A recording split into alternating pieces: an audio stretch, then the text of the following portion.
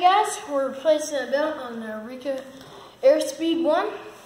And I've already took out the screws. So now we're just gonna go ahead and take off the headpiece so we can get into the belt.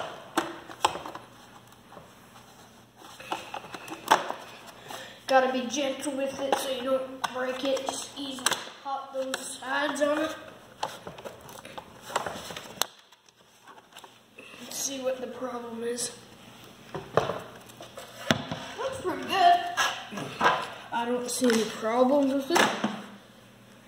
The brush wheel wasn't spinning the other day, so I'm sure what the problem is. Well, see you next time.